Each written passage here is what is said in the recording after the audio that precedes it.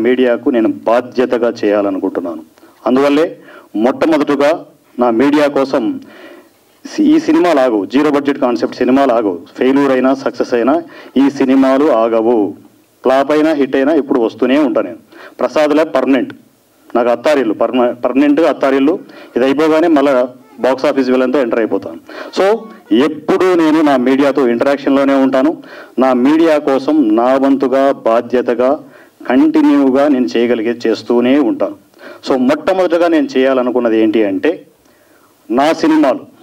అది ఫెయిల్ కావచ్చు సక్సెస్ కావచ్చు వాట్ ఎవర్ ఇట్ ఈస్ సక్సెస్లకు ఫెయిల్యూర్కి అతీతంగా సో నాకు వస్తున్న ఇన్కంలో నాకు వస్తున్న ఇన్కంలో నా మీడియాకి టెన్ పర్సెంట్ ప్రతి సినిమాలోనూ టెన్ పర్సెంట్ సో మనకున్న ప్రాబ్లమ్స్కి మనకున్న రకరకాల వ్యవహారాలు ఉంటాయి ఇక్కడ.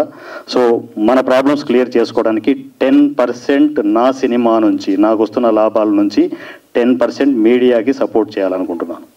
So that is my intention thank you దాని తర్వాత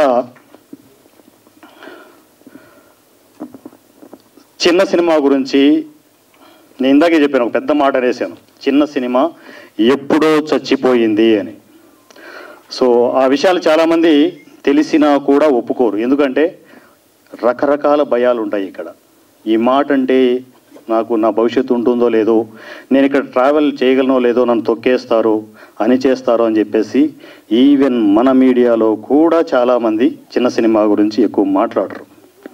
నేను మాట్లాడబోతున్నాను పాజిటివ్గా. ఇక్కడ నేను వచ్చింది శత్రుత్వాన్ని పెంచుకోవడానికో సో ఎవరితోనో నేను గొడవ పెట్టుకోవడానికి కాదు. హండ్రెడ్ పర్సెంట్ చిన్న సినిమా కోసం నేను చాలా చేయాలనుకుంటున్నాను. ఇది మొదటి స్టెప్. మీరు బ్యాక్గ్రౌండ్లో కొటేషన్ గమనించుండొచ్చు. చిన్న సినిమాకు ఓ దేవుడు కావాలి అని. సినిమా ఇండస్ట్రీలో చాలామంది దేవుళ్ళు ఉన్నారు. Megastar Chiranjeevi power star Pawan Kalyan ఇలా చెప్పుకుంటూ పోతే సో ఆల్రెడీ చిన్న సినిమా కోసం ఇందాక మా ప్రెస్ వాళ్ళు అంటున్నట్టు దర్శకరత్న దాసరి నారాయణరావు గారు సో అక్కడ నుంచే ఇన్స్పిరేషన్ ఇవన్నీ స్టార్ట్ అయ్యాయి. సో దాసరావు గారు ఐస్ క్రీమ్ అనే సినిమాలో ఒక మాట అన్నారు చిన్న సినిమా బతకాలి అంటే ఐడియాతో సినిమా చేయండి అని. సో ట్రైలర్లో దాసరి గారు వస్తున్నారు.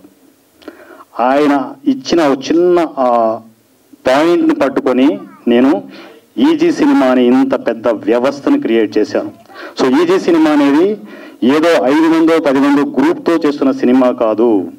రెండు రాష్ట్రాల్లో నేను గర్వంగా చెప్పగలను రెండు రాష్ట్రాల్లో నేను ఏ ఊరికి వెళ్ళి ఒక చిన్న వీడియో పెట్టినా ఈ సినిమా యూట్యూబ్ ఛానల్ చిన్న వీడియో పెట్టినా కూడా నా దగ్గరికి ఆర్టిస్టులు టెక్నీషియన్లు బైక్ వేసుకొని వస్తారు.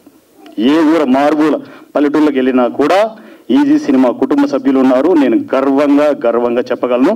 ఇంత పెద్ద వ్యవస్థ క్రియేట్ చేయడానికి రీజన్ దర్శక రత్న దాసరి నారాయణరావు గారు.